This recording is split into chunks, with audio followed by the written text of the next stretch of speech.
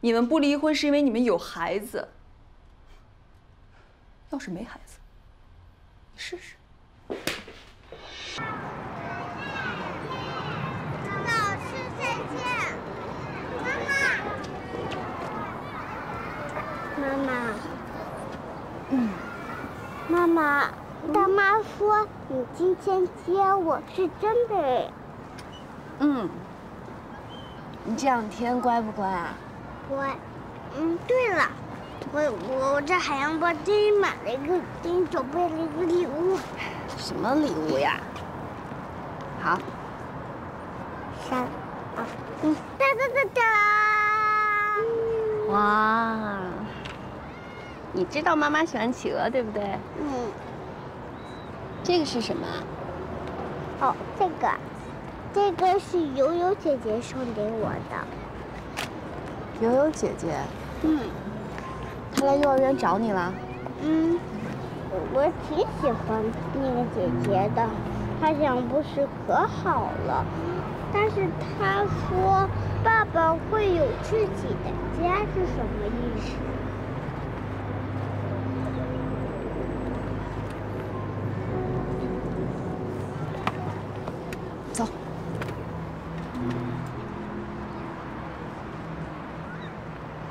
三米老师。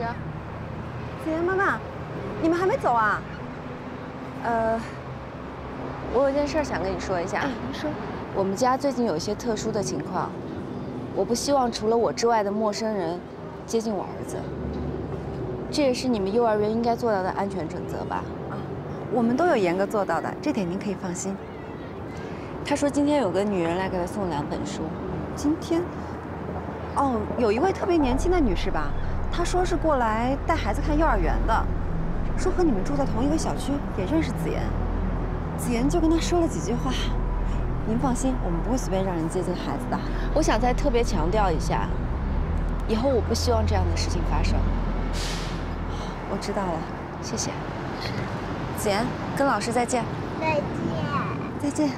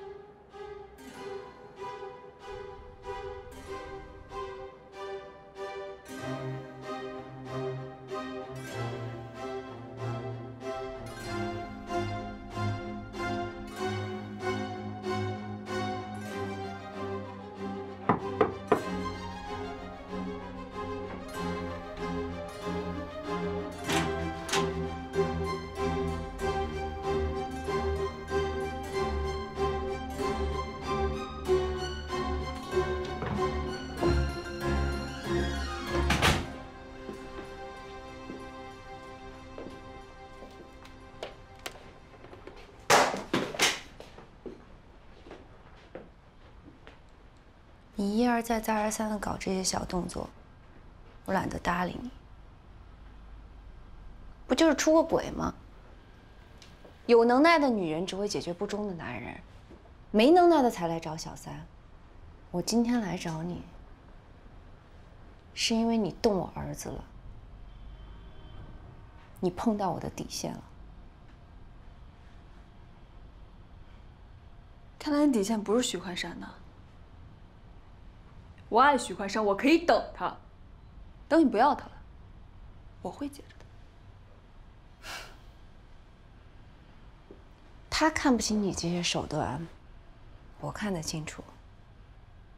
你给我儿子看这些是什么意思？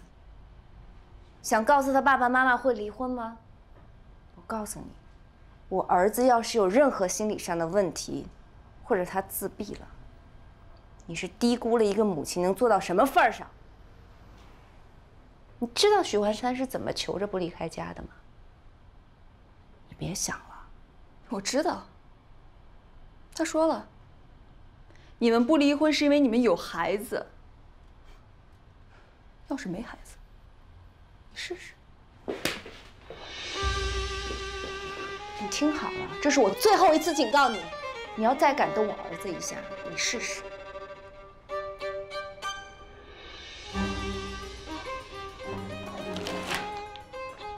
这间房我已经解约了，房东三天后来收房。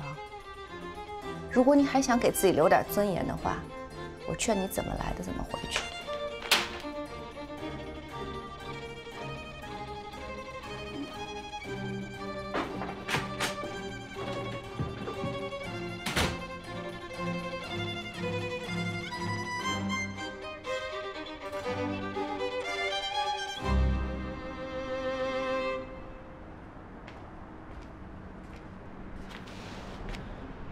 我是可以回家了吗？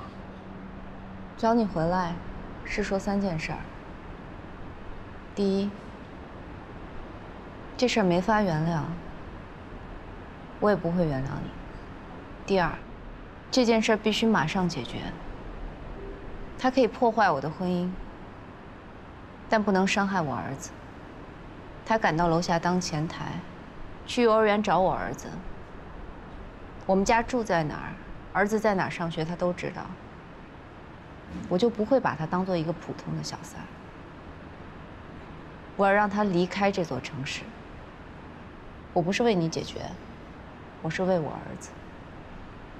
第三，解决完这件事儿，我们俩就去办离婚。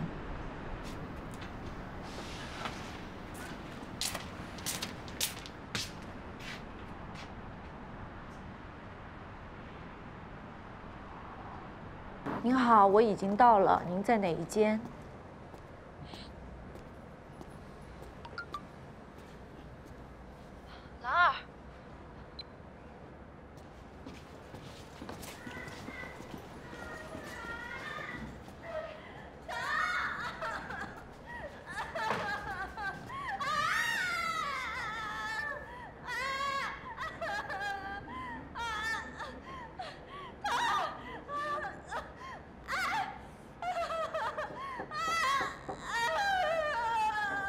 您好，您好，我进来了。